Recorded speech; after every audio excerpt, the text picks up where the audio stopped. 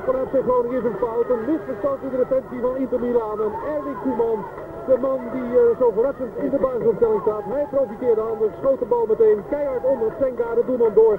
En zo leidt FC Groningen toch verrassend met 1-0.